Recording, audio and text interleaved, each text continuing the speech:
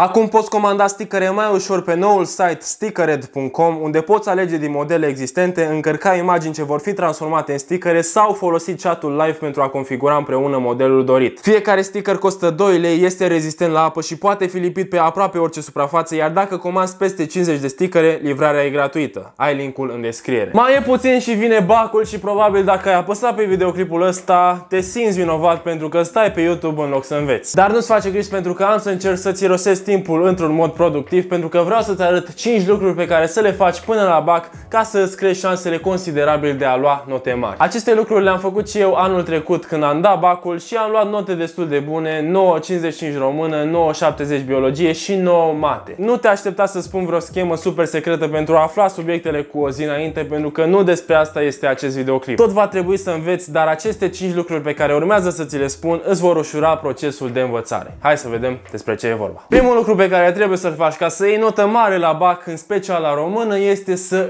înveți după structură. Mulți oameni atunci când învață comentariile la română, citesc o propoziție după care o repetă de 10 ori cu voce tare ca un papagal. Și poate că pentru unele genii ale memorării, tehnica asta de a învăța propoziție cu propoziție 20 de comentarii funcționează, dar pentru mine clar nu a funcționat. În schimb, eu am făcut următorul lucru care cred eu că e mult mai eficient pentru majoritatea oamenilor. Am citit comentariul cap-coadă, l-am împărțit în secțiuni mai mici, astfel creând o structură după care să mă ghidez și într-un final am scris pe o coală albă ce am înțeles eu din ce am citit prin cuvintele mele, nu cuvânt cu cuvânt așa cum scria în comentarii. Să împarți comentariul în secțiuni mai mici pe care le poți înțelege mai ușor te ajută să înveți mai eficient. De exemplu, în prima parte se vorbește despre autor și despre data publicării operei, în a doua parte despre tehnicile folosite, în a treia parte despre momentele subiectului și așa mai departe. Și uite așa ai o structură care te ajută să te ghidezi chiar dacă uiți o propoziție sau două. În schimb, dacă ai învățat propoziție cu propoziție și ai uita una, ți s-a rupe tot firul gândirii pentru că n-ai mai ști ce să scrii în continuare. Așadar, fă o structură specifică pentru fiecare comentariu, împarte-l în secțiuni ca să-ți fie mai ușor să înveți și apoi scrie pe o coală albă ce ai înțeles prin cuvintele tale. La fel și cu formulele de la matematică, scrie-le pe o foaie, nu le repeta în gând, pentru că prin scris informațiile ți se întipăresc mult mai repede în minte. Al doilea lucru pe care trebuie să-l faci ca să iei note mari la BAC este să-ți faci portofoliu la fiecare materie. La matematică scrieți formulele pe foi, bagă-le în țiple într-un dosar ca atunci când întâlnești o problemă la care ai uitat formula să-ți fie ușor să o găsești. Eu mi-am făcut portofoliu la toate trei materiile și am băgat acolo comentarii, formule, teste pe care le-am primit de la școală sau de la meditații și știam că se află toate într-un singur loc, iar asta m-a ajutat să salvez timp și nervi,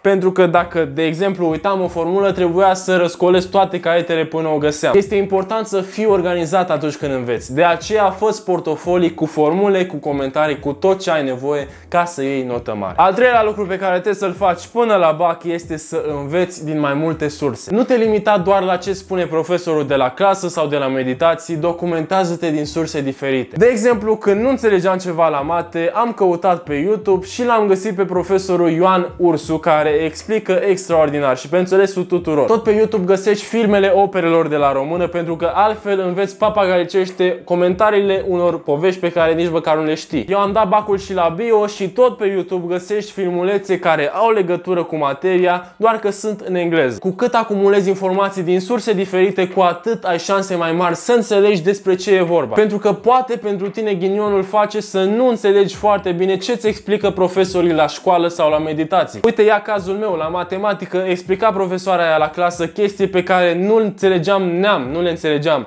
Dar când am intrat pe YouTube la profesorul Ioan Ursu, ca prin minune am înțeles. Al patrulea lucru pe care trebuie să-l faci înainte de BAC este să afli exact ce se cere. Și că tot vorbeam de profesoara de mate, ce ne preda ea la clasă nu prea avea legătură cu materia de la BAC. De aceea tu trebuie să lucrezi subiectele care s-au dat la BAC în anii trecuți pe care le poți găsi foarte ușor pe internet. Anul trecut Ministerul Educației a postat câte 20 de teste la fiecare materie de BAC și pe mine m-a ajutat foarte mult pentru că știam exact ce trebuie să învăț și ce nu trebuie să învăț. Știam cum arată un BAC. Așadar află exact ce se dă și ce trebuie să înveți ca să nu înveți degeaba. Și în final, al cincelea lucru pe care trebuie să-l faci la BAC ca să iei note mari este să ai o stare de spirit bună. Poți să fi învățat tu 4 ani în fiecare zi, e degeaba dacă ai emoții și nu te poți concentra în sala de examen. Nu poți să scrii ce gândești. Mulți neglijează aspecte precum somnul, mâncarea sau starea de spirit în ziua bacului, dar sunt foarte importante pentru a fi la capacitate capacitatea ta maximă. Nu sta toată noaptea treaz ca să repeți înaintea examenului și mănâncă înainte să pleci, mănâncă micul dejun.